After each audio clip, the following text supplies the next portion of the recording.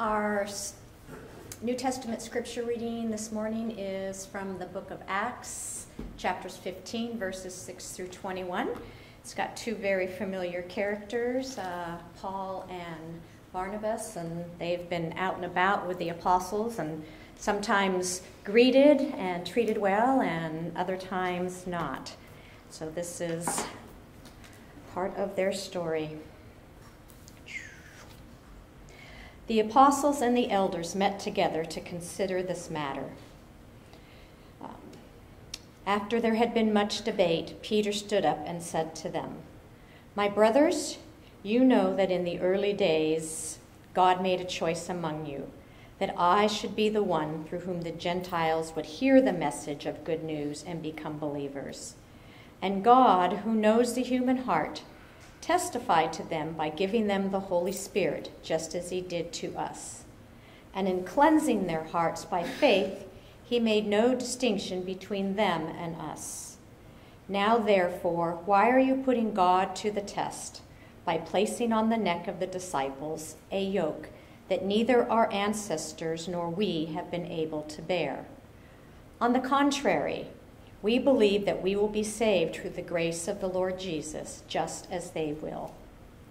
The whole assembly kept silence and listened to Barnabas and Paul as they told of all the signs and wonders that God had done through them among the Gentiles. After they finished speaking, James replied, My brothers, listen to me. Simeon has related how God first looked favorably upon the Gentiles to take from them among a people for his, for his name. This agrees with the words of the prophet as it is written After this I will return, and I will rebuild the dwelling of David, which has fallen. From its ruins I will rebuild it, and I will set it up, so that all other peoples may seek the Lord even all the Gentiles over whom my name has been called. Thus says the Lord, who has been making these things known from long ago. Therefore, I have reached the decision that we should not trouble those Gentiles who are turning to God, but we should write to them to abstain to abstain only from the things polluted by idols and from fornication, and from whatever has been strangled, and from blood. For in every city, for generations past, Moses has had those who proclaim him, for he has been read aloud every Sabbath in the synagogues. This is the word of God for all God's people.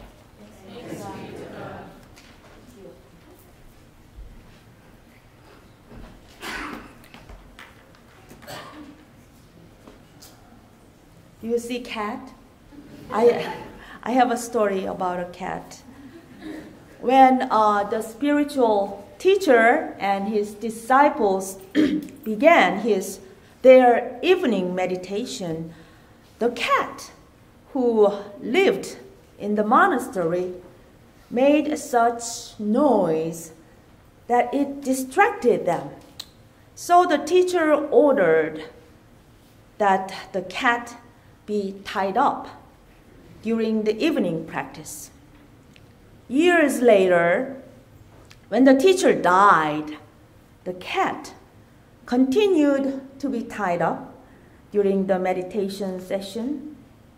And when the cat eventually died, another cat was brought to the monastery and tied up. When that cat died, another cat was brought to the monastery and tied up.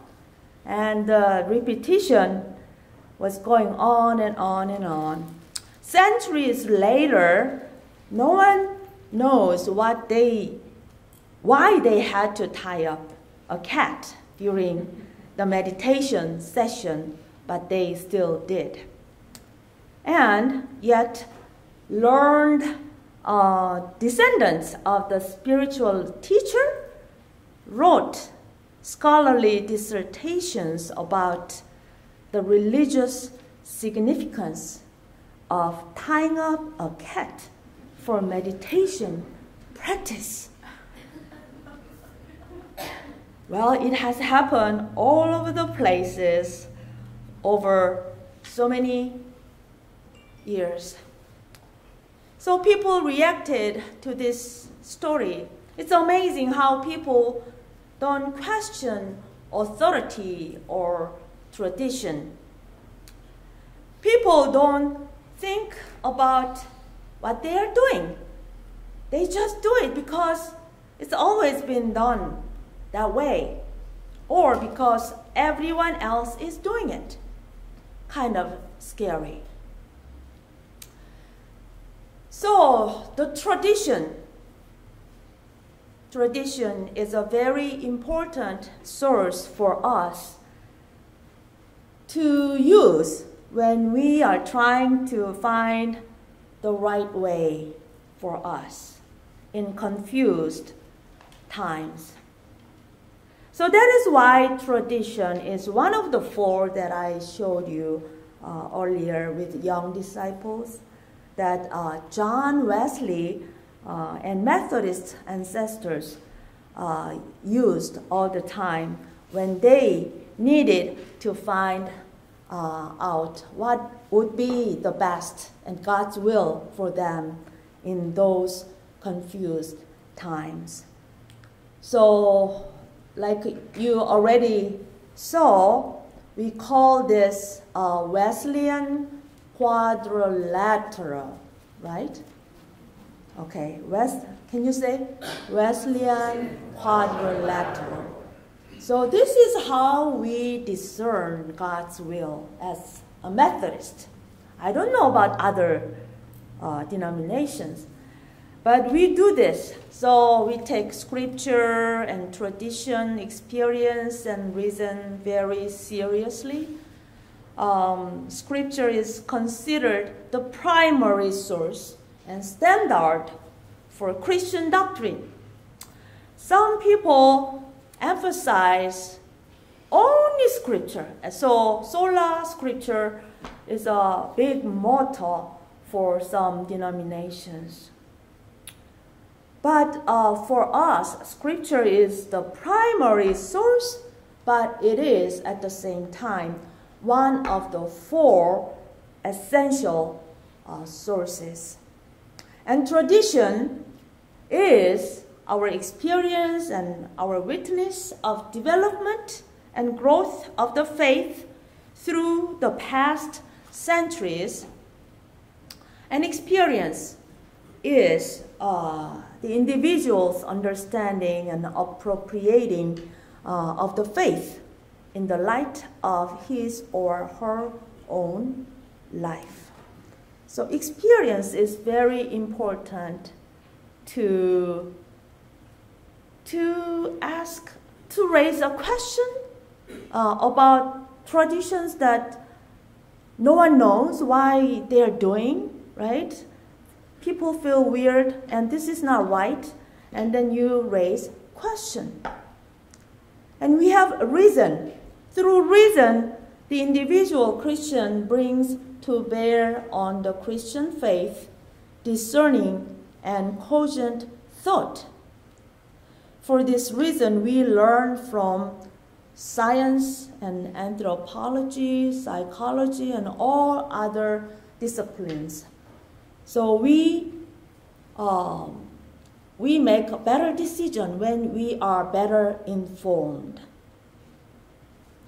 So these four elements uh, taken together bring the individual or the uh, communal uh, Christian community to a mature and fulfilling understanding of the Christian faith and the required response of worship and service and how to live, how to follow uh, Jesus' way in our daily lives. So, how much have you used each element here? Scripture. How often do you read the scripture to find out whether you are taking the uh, making the right choice uh, to decide or to see whether your church is making the right decision or not.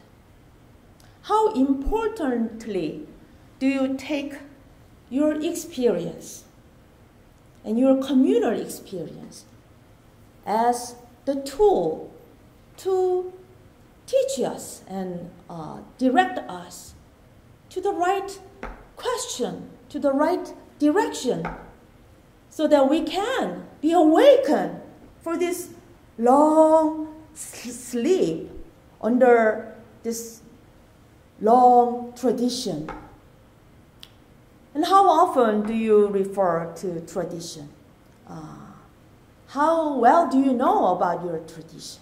How often do you ask about your, uh, I mean, ask your grandparents, great grandparents, or uh, longest member of the church about what's going on uh, about some issues? And how often and how seriously are, are we using reason and science to find out what is really going on, what we should do in this situation? So this is so important.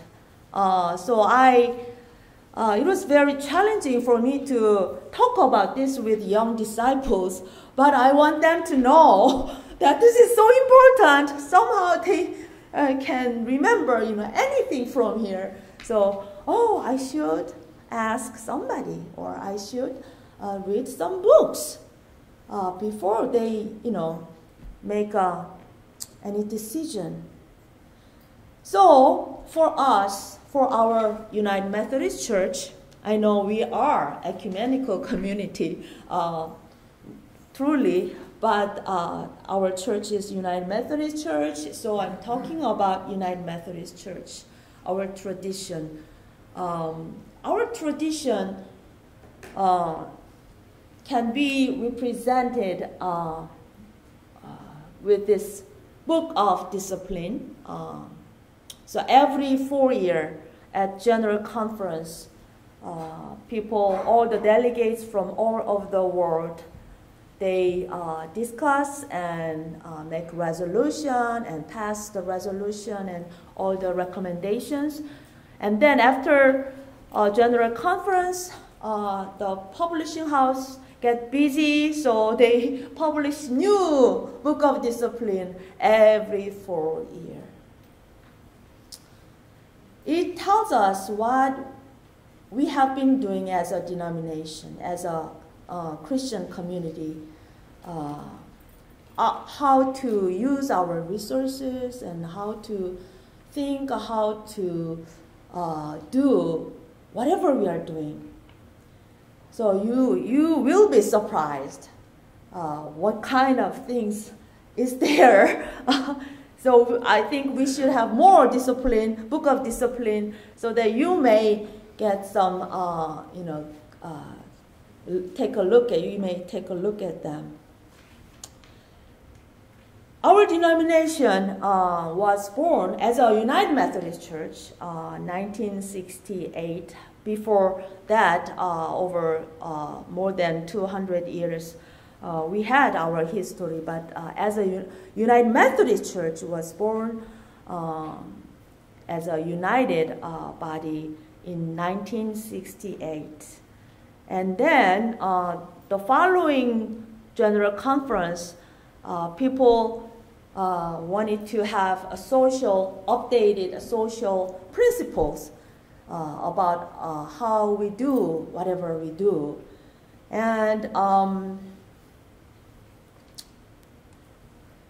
and uh, the, our uh, United Methodist Church made an official declaration regarding homosexuality in uh, the General Conference 1972. So the original resolution had just no negative uh, tone or anything there.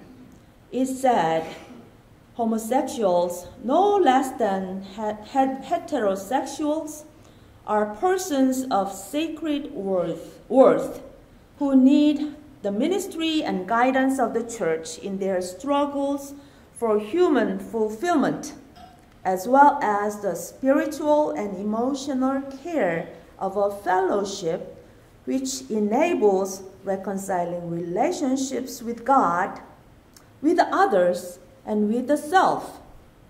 Further, we insist that all persons are entitled to have their human and civil rights ensured. So that was the original resolution. And this statement was initially uh, approved by the legis- legislative committee. Um, our Linda and Don knows what that is. We have small uh, groups. You go there and you discuss and then you uh, vote. And so it was passed in that legis- legislative uh, committee.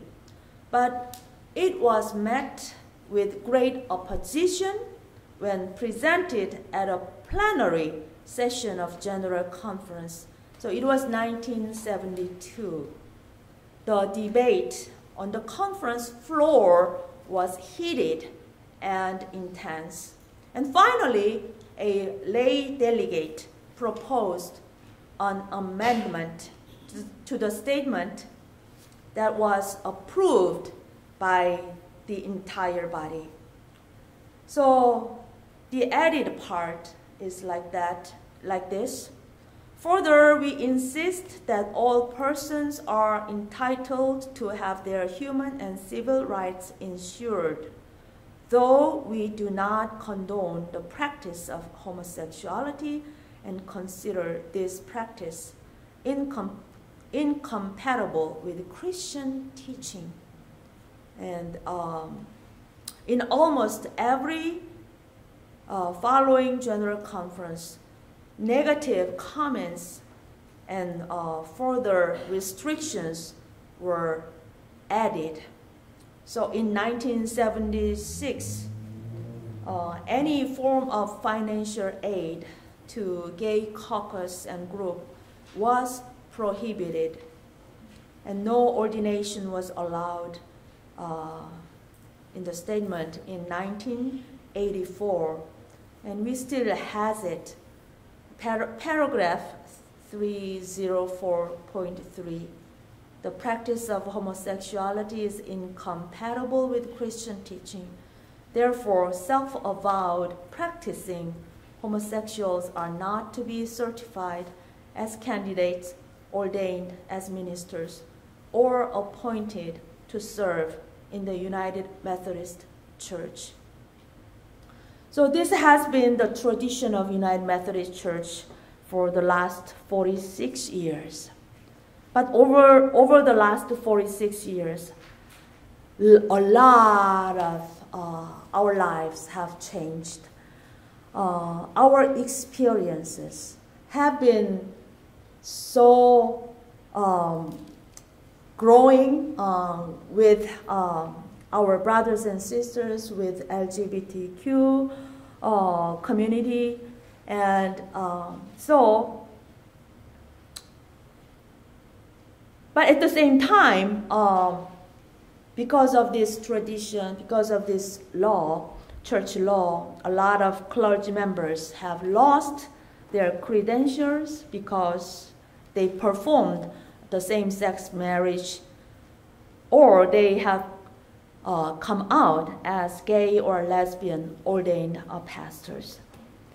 And more importantly, thousands of thousands of um, United Methodist LGBT uh, disciples have been uh, discouraged and oppressed and excluded from the full life of uh, United Methodist Church.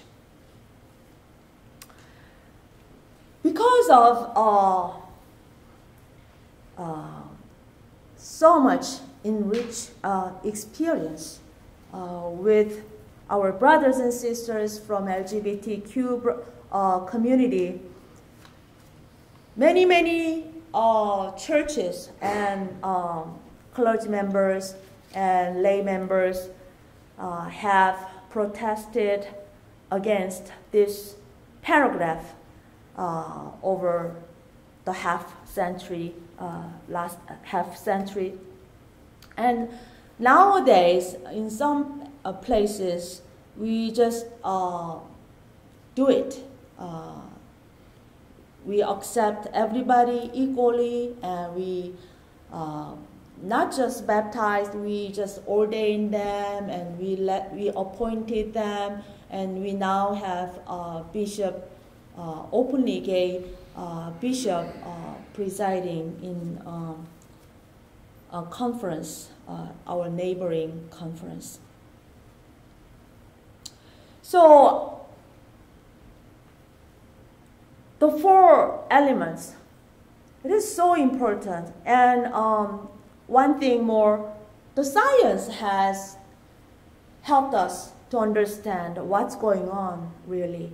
And that's another, uh, that's going to be another uh, sermon or some uh, Bible study time that I can talk about that. Jesus uh, challenged Jewish traditions that restricted uh, so many people on so many aspects of their lives, especially any work or even good work being done on Sabbath day. Uh, it was restricted so extreme way.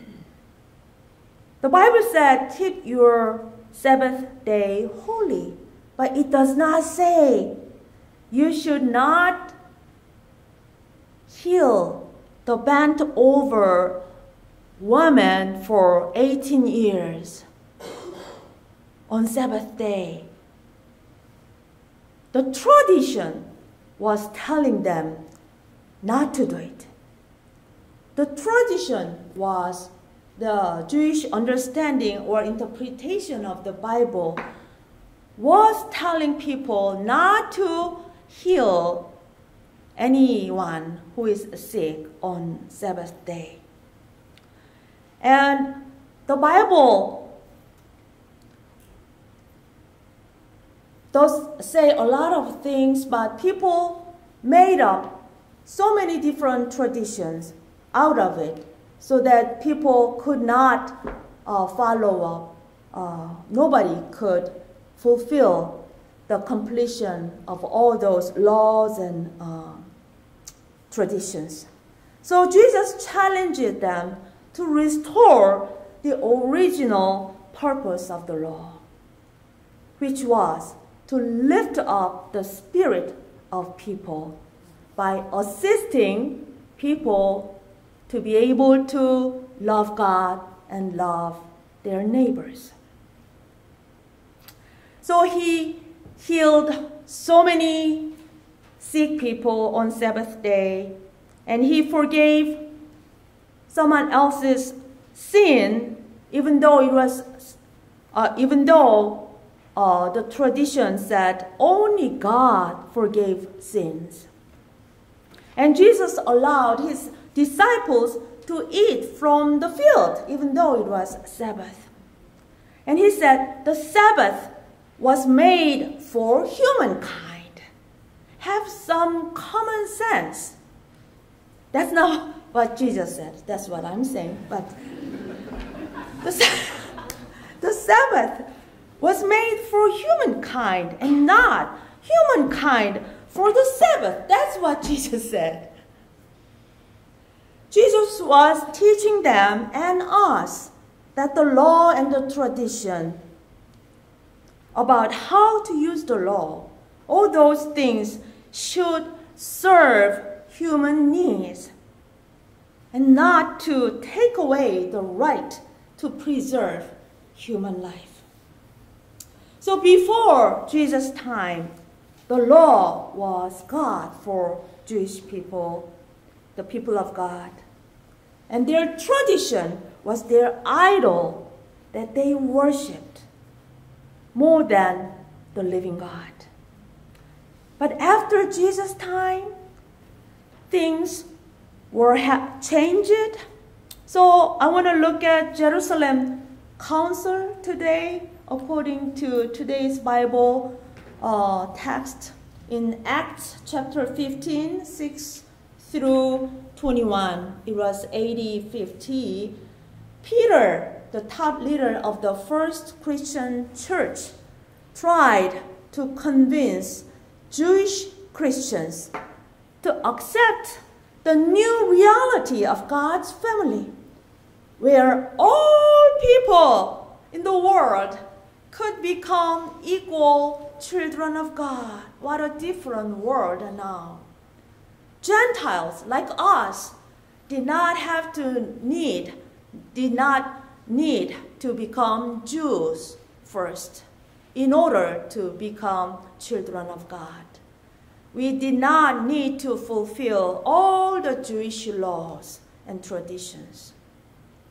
So, this reality was not easy at all for any Jewish Christians to accept. And Peter had the hardest time to accept this new reality in the beginning. You know, the law was their life, the law was their identity, the law and their, their traditions were their purpose and their safeguard. Did you know that uh, there are 613 commandments and laws in the Old Testament? And out of 613, uh, there are 365 negative commandments. Okay, thou shalt not make idols for yourself, something like that. And this number, 365, coincides with the number of days in solar calendar. And they also had 248 positive commandments, like honor your mother and father. And this number coincides with the number of bones and main organs in human body.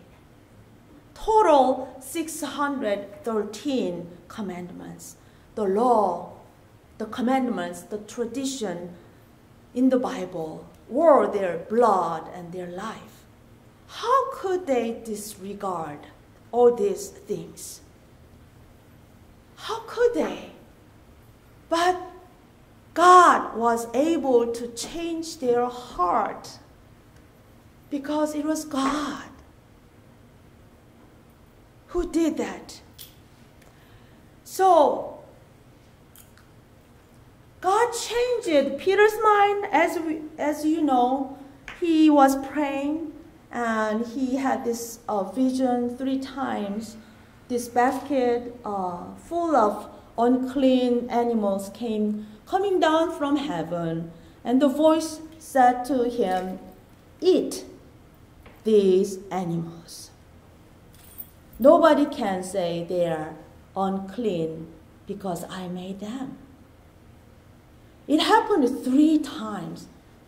And he knew that. He knew that. It was the voice of God.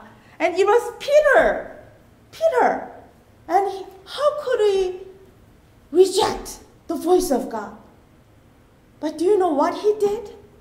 He rejected the voice of God even after three times of visions.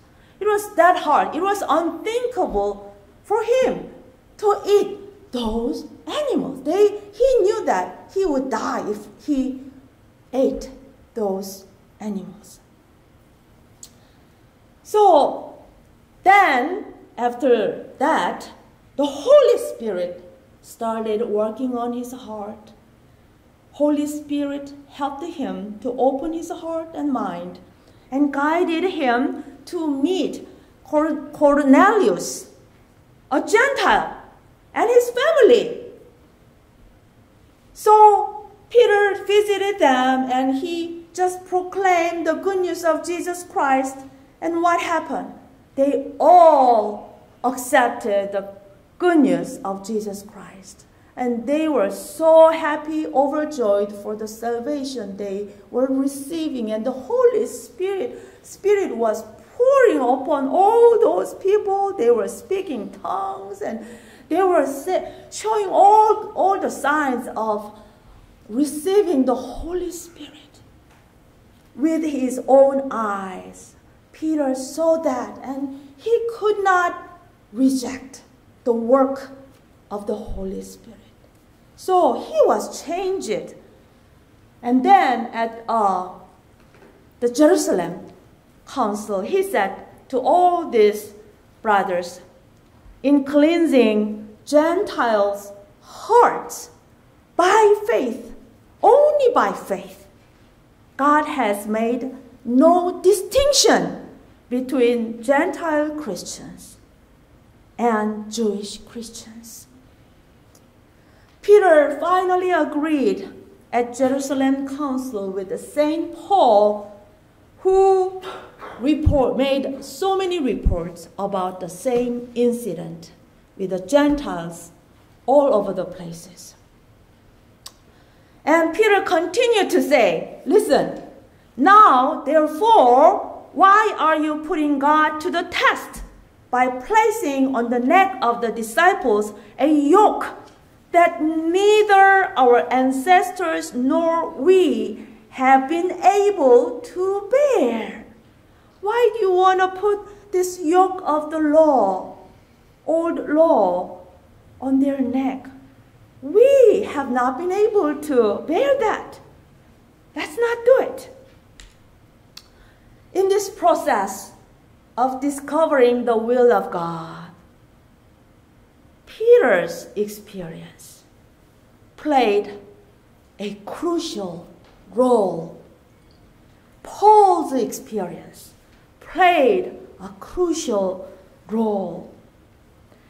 They didn't just refer to the scripture or their traditions, but they referred to the third component of Wesleyan quadrilateral experience. And their reasoning, let us think about it. Let us share our experience. What's going on? But right after, James stood up and said, agreed with Peter, but do you, do you know what he did? He added an amendment. And he said, but we should write to them to abstain only from things polluted by idols. At the time, almost all the food in the market came from the temple. That means all food in the market were polluted by idols. Number two, from fornication. Sexual intercourse between people not married to each other. Number three, from whatever has been strangled. And number four, from blood. Then the amendment was passed. History repeats itself in our United Methodist Church history. Once the First Amendment was accepted, the second and the third and the fourth amendments might have followed.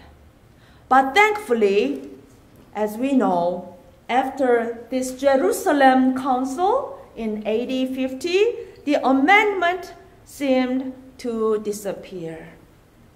St. Paul proclaimed the pure gospel of Jesus Christ in his letter to Galatians chapter 3 verse 28 29 there is no longer Jews or Greek. There is no longer slave or free. There is no longer male and female. For all of you are one in Christ Jesus. And if you belong to Christ then you are Abraham's offspring, heirs according to the promise. So Paul, St. Paul said, For freedom, Christ has set us free. Stand firm, therefore, and do not submit again to a yoke of slavery. It is wrong for anyone to add amendments to the true gospel of Jesus Christ in order to exclude and oppress others. Amen?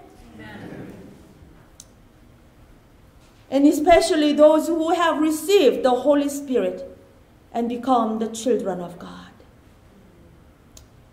The first Gentile Christians did not have to become a Jew in order to join the family of God. Likewise, anyone in Christ Jesus is a reconciled, free, and fully worthy to be a child of God, now and forever. Amen. So let us not place on the neck of the disciples a yoke that neither our ancestors nor we have been able to bear. Let us not submit again to a yoke of slavery, since Christ has set us free for freedom. Amen. Let us pray. Oh Lord, thank you for the freedom. Thank you for the courage to stand up for what we believe in with the gospel of Jesus Christ. Help us to courageously spread this gospel with all the people in the world. In your Son's name we pray. Amen.